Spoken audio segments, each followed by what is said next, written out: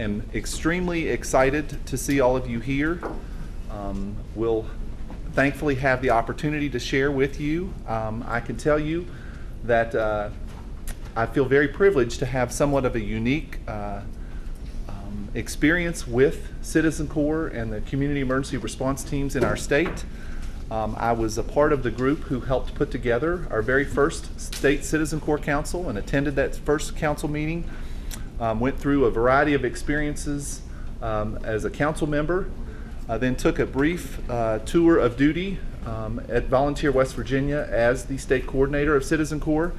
Um, and then now am over in the Department of Homeland Security um, Emergency Management in, in DMAPS and actually am the one who uh, writes the grant applications that now funds uh, our Citizen Corps and CERT programs across the state. So have had a number of different relationships and am uh, really glad to see you. It is always good to um, see the faces of the people who actually do the work out across our state.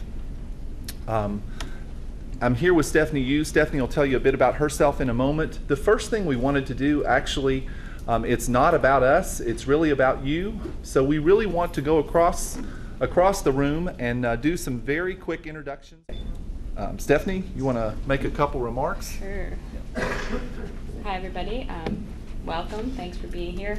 This is our first ever CERT conference in West Virginia, and we're gonna we're gonna hope that it's a roaring success and we can do it again. Um, I do want to say David gave some credit to the folks that put this conference together, and there are some people who have helped out here and there, but this has really been a one-woman show, and that is Gina's show. So I think you all have worked with her and know that she has done the lion's share of the work we appreciate that, and I'm looking forward to it. Um, I also just kind of want to say there's a lot of familiar faces in this room. There's also a lot of new faces, which I'm excited about um, because I think that's a good thing because this is spreading and we're doing something right. Um, the other thing I was going to say is, uh, as the executive director of Volunteer West Virginia, we work with a lot of volunteers, and in a lot of cases, we're doing a service project here or there. Doesn't matter if they show up or not. It's not a commitment. It's not the kind of commitment that you all make. So we just want to acknowledge that, how important that is. When we need you, you're there, and it's critical that you are. So we appreciate that. Um, without further ado, let's kick it off. Um, at this time, I am happy to introduce my boss. Um, Joe introduced himself. He is the Cabinet Secretary for the Department of Military Affairs and Public Safety, um, oversees a number of our emergency response functions across the state. He is uh, a very competent and capable person in, in the duties that the governor has entrusted him with. Uh, but more than that, I think um, for any of us who know Joe, know he is a personal person. Um, he is extremely approachable, extremely accessible, um, genuinely cares about uh, the people across the state, and I can say, uh, having the good fortune to work with him every day, um, cares about the people who he works directly with, um, and I think we're very fortunate to have him. Um, there's a, bi- a biography that's included, uh, lots of good things that Joe has accomplished. Uh, but without further ado, Joe, if you want to come up and uh, share a couple remarks, and we'll go from there. We'll get this started.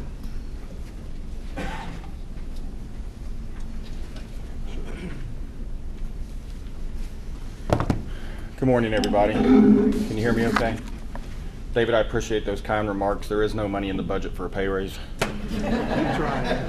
Um, No, I, I, I, you know, I have it in my remarks, but I'll just go ahead and say it now. I certainly appreciate uh, the opportunity to stand here before you. Uh, You know, I can't say enough great things about what David does on a daily basis to help keep West Virginia safe. Um, He is one of the most competent individuals I've met and one of the hardest working individuals I've met. So uh, those of you that, that don't know him, um, when you start working with him, you'll realize um, how genuinely he cares and, and how much uh, or how important it is for him to uh, see West Virginia move forward in all the areas that we're responsible for. Uh, I, I appreciate the invitation. I really do to be here today. I, I did not realize this was the first state CERT conference, so um, I, I, you know, it's much more of an honor now. Um, you know, I, I want to share a few thoughts and perspectives today. Um, you know, I, I certainly appreciate Gina's efforts. Uh, she does a, a great job as our state citizen corps coordinator. Um, you know, the other staff at Volunteer West Virginia, Stephanie, you, you can't say enough great things about what she's done. I know she helped Gina with the logistics of this conference.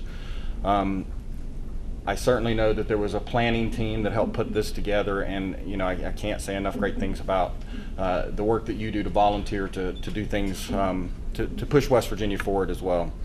Uh, I appreciate each of you. I think most importantly, your attendance here states a lot. You know, it seems like every time we have a conference that's similar to this, we have a bad storm the night before or the day of. Ju- I mean, it just never fails. Um, so, you know, that you're here says a lot. I, I laid awake a couple hours last night listening to the storm roll through Putnam County, uh, just hoping that one of the trees wasn't going to crash through my house. So, um, you know, it was. Uh, I, it's been a while since I've had wind like that in Putnam County. I think they said it was about 55, 60 miles an hour out in, in our neck of the woods, and about 70 miles an hour in Cabell County. So, uh, and I live smack dab in the middle of a uh, of a small forest, so it's it's always a bit disconcerting when these things happen. Um, it- preparedness. You know, I want to start talking about preparedness.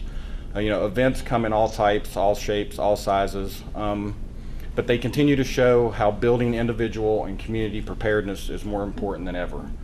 Uh, real threats exist. I think we all know those: the natural threats, the man-made threats, the terroristic threats. Um, you know, some of you are, are familiar with the most recent research that, that FEMA has concluded on personal preparedness.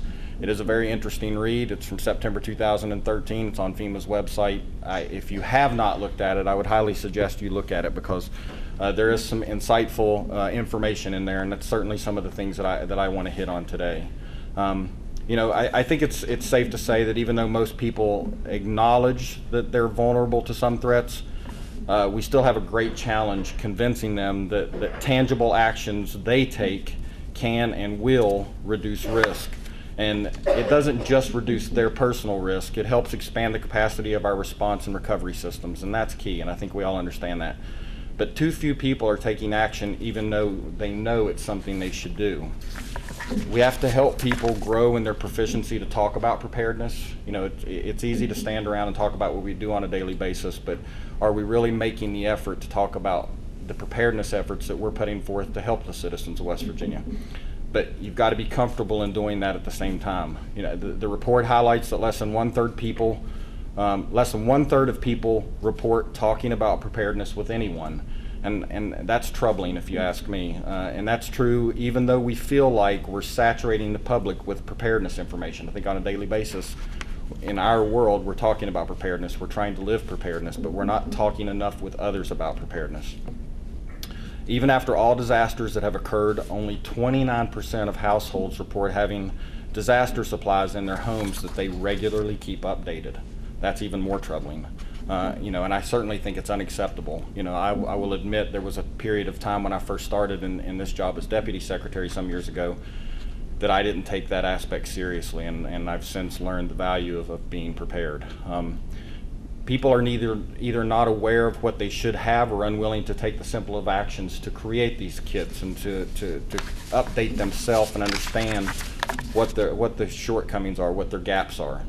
Uh, lastly, and perhaps most importantly, uh, we're still only getting about one fourth of people to attend training and or volunteer, uh, and that's something that I think we need to really to drive the train on. Um, all of this means that there's a lot we still need to do, and I think we all understand that. We have to continue our efforts. We have to modify and extend, extend them as possible uh, just to begin to sustain the progress that we've already made. That's not an effort to really increase our capacity. Um, I, I really think that we, you know, we have to work on a daily basis to try to enhance our capabilities. Um, more so than just keep it at, the, at, at an even pace. Uh, we're, we're very good at understanding where we are today, but it's becoming increasingly more difficult to stay where we are today. And a lot of that is due to resources, and I understand that. But that's why collaboration and cooperation are so key. Uh, many of you have heard me say some of these things before, but certainly you've, you've probably heard me say this before that uh, there are many things that go into emergency preparedness and recovery but there are two things that are I consider that are most critical and they're probably most important to me, and that's attitude and relationships. Um, you know, most of you I think are positive, you're proactive, you're resourceful, you're creative. I respect and appreciate that very much, but it, it's it, the most important thing that we have to offer folks is encouragement. You know, a listening ear, uh, just physical presence sometimes goes a long way. Work is stressful. I think we all understand that. It takes real effort to stay emotionally balanced, especially in trying situations. uh, and, to keep believing that our efforts are producing positive outcomes. Um, you know, those of us that, that have worked 20, 20 hours a day for a month straight, and I always reference Hurricane Katrina when I'm in a setting like this because the operation that West Virginia conducted for Hurricane Katrina in 2005, um, in my eyes, was something to behold. It didn't go perfectly, um, but it showed co- collaboration, it showed cooperation, and it showed people understanding what the person next to them was going through as well. And, and keeping that emotional balance was very, very challenging for those 30 days, but it was very, very important and critical to what we do to achieve success. Uh, I appreciate the support that everybody lends to law enforcement, fire service, and other responders. Uh, positive attitude is essential to constructive relationships. I think that's a no-brainer. Uh, you know, I, we all have shrinking financial resources, and, and we understand that. Uh, it, it's easy to kind of go into defensive mode and start protecting our turf, but this is the most important time to break out of that habit. Um, you know, our collective presence at this meeting is an indication that we know there's better ways to do things. Uh, sometimes it involves uncomfortable change. Uh, sometimes it involves an evolution of our processes. But those are necessary in our capabilities to be more self-sufficient. Expanding the pool of trained and available personnel through programs such as this one uh, helps us address the challenge. Um, most of you know that the oversight of the Homeland Security Grant Administration that is in my office, um, the HSSA, I call it. Um, no, yeah, that'll that'll work. That'll work. I always just say the administrative agency. Um, th- that uh, that particularly resides in my office. It has since 2005. Um, it, it's uh, you know I think those of you that understand the process of that that agency. Um, may think that you know we're trying to implement a top-down strategy, and there's anything but that going on. Uh, you know, we do have state-level interest to look out for, and I think everybody understands that. But much of the content of the applications and reports that we provide FEMA and DHS uh, is gathered and assimilated in meetings such as what you're sitting in today. The focus and individual projects within our federal grant applications aren't developed using only the knowledge and desires of those of us who work at the Capitol. Um, we know most of our capability resides in your communities, um, within pu- public and private organizations, and volunteers certainly play a key role in many of those capabilities. Uh, prevention happens in individual neighborhoods. Response involves random bystanders. Recovery is largely done through steadfast work of non-governmental agencies, and that's that's key because the government can't do it all. Um, volunteers help individuals who work their way back to self-sufficiency day by day and task by task. I I appreciate the participation that many of you have had in our grant cycles before, whether you were sub-grantees, reviewers, fiscal agents, exercise coordinators, evaluators, or trainers. Uh, every element of what you can provide to what we're trying to accomplish is, is important and key to, to the success of where we're trying to get. Uh, I want to emphasize that grant funding comes to the state as a result of submission of other information. It doesn't come from just uh, information that, that we sit around at a table and David thinks of on a day-to-day basis. The assessment and analysis requirements continue to increase. Uh, I think some of you are involved in what we'll call THIRA. I know that's been a big headache for David. That's the, the Threat and Hazard Identification and Risk Assessment Tool. It's, um, it's a lot of work. It's a lot of work. But it's a very, very valuable document. Uh, you know, it's a lot of things come out of the federal government, and I'm not taking a shot at them. But uh, you know, I think we all get bogged down in processes and procedures sometimes, and we feel like we're just doing things to spin wheels and justify our existence. But I think THIRA is teaching us a valuable lesson. So, uh, if you haven't been involved in, in THIRA creation, um, and you have the opportunity to, I think you'll learn a lot through that process. I, I think you would agree with that, David. Absolutely. Uh, there's another tool that helps. These are another tool that helps us focus and quantify. The, the THIRA is another tool that helps us focus and quantify our capability building and sustaining effort. Uh, volunteer groups must be part of the process to tap, tap, try to capture our true capacity. Uh, along with the THIRA, we also submitted our fifth, I'm happy about that, our fifth state preparedness report, uh, which shows us where we are making progress, where we're holding our own, where we need to put more efforts in, and where we need to just really focus to sustain our existing capacity. Please know that we are significantly improving numerous capacities around the state. Um, you know, I briefly mentioned it a minute ago. Um, territorialism, I, I've said this for years, territorialism, I hate the way this thing is bouncing around, I'm sorry for that, it's probably distracting. Um, territorialism has always been one of the biggest hindrance to success across all things that we do, whether you're public sector or private sector, but certainly in state government, um, I've looked at it as, as a huge hindrance to what we're trying to accomplish. Um, but I think what we're learning through shrinking resources and, and challenging times is that you know we have to break outside those barriers uh, and work more closely with uh, other state agencies that, that, that do all kinds of capacity and capability building, but certainly the, those that award grant, uh, preparedness grants.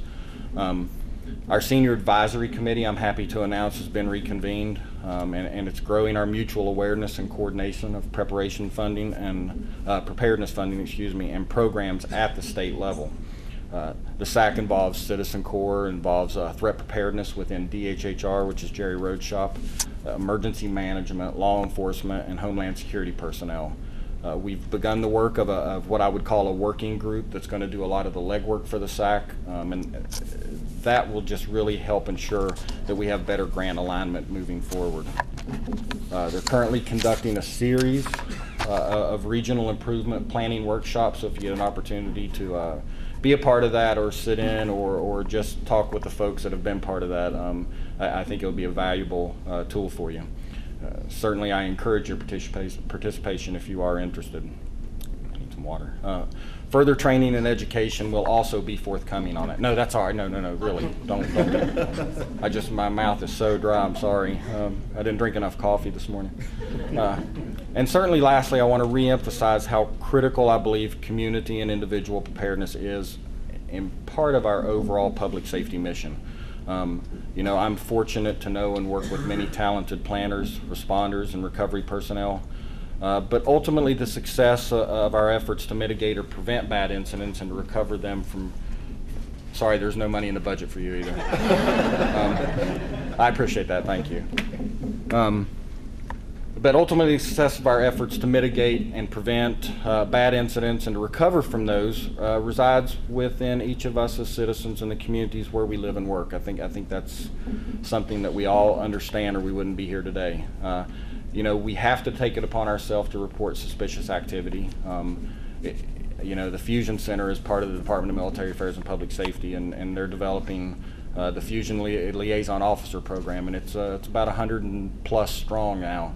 Uh, and they're individuals that live in, and work and breathe and exist in the communities that we all live in. And, and basically, their assignment is to keep eyeball on things. And when they see something that just doesn't make sense, they're to reach out to the Fusion Center and, and give them information on that so we can look into it.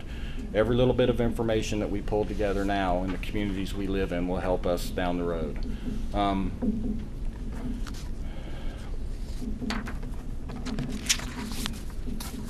you know, I think we're, and forgive me, if I'm, horrible with time frames, but I think we're about six to eight months removed by the, the horrific images of Boston. Um, you know, I think, it, you know, it may not be as a significant event as what we saw 9/11, but it's certainly one of those things that makes you stop and say, I know where I was that day, and I know what I was doing that day uh, when that occurred.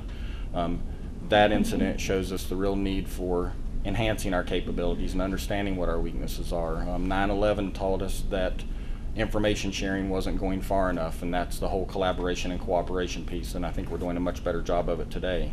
Um, but Boston taught us the little things, little things such as the ability to apply a tourniquet isn't an antiquated system because that's something that was very much needed those days. So, um, you know, we have to we have to keep hold of the, the, systems of the past while we're trying to move forward with the systems of the future. Some people, uh, at times, it may seem like personal preparedness is just a, a stepchild, if you will, to, to fancy response capabilities, and that's anything but the truth. Uh, we have considerable equipment and training uh, that we certainly bought and put in place to try to ensure that we can manage uh, the technical facets and the sophisticated facets of responding to various threats but that you know that that doesn't stop there, and in no way it diminishes the the paramount responsibility that we each have to take actions to care for ourselves, our families, neighbors, and others with whom we interact. Um, we can't just think about preparedness; we we have to act on it. I know that many of you are, are here for that very reason. Um, you know, most of the time, conferences are, are sometimes a struggle. Um, this conference uh, is, is a significantly important conference in trying to understand what each of you do together and uh, networking will, will be a, a significant resource for each of you. So, you know, if, you- if you don't know the folks around you, and I see a lot of faces that I'm familiar with, but I, I certainly don't know everybody here. Um, David mentioned that I, that I am accessible. I pride myself on accessibility. Um, if you send me an email, I will answer it. Uh, if you call, and I'm available, you know, I, I, I have a lot of meetings some days, but um, if I'm not there to take the call, uh, I will call you back. Uh, no issue is too small or too large. Um, I'm interested in what I can do to help you make your jobs better and easier. So please never hesitate. If you're at the Capitol any, at any point and you just want to see what the Department of Military Affairs and Public Safety looks like, fourth floor of the West Wing. Um, we're a small office, uh, but the department is made up of about 6,000 employees in 10 divisions, and we're all things public safety and military. So um, I'm going to stick around as long as I can today. Uh, I certainly look forward to engaging anybody that would like to just chat me up. Um, so please feel free to reach out to me. Uh, again, I appreciate the opportunity to be here today. Um, I can't thank each of you enough for what you do on a daily basis, uh, and I certainly appreciate you taking the time to be here today as well. Thank you.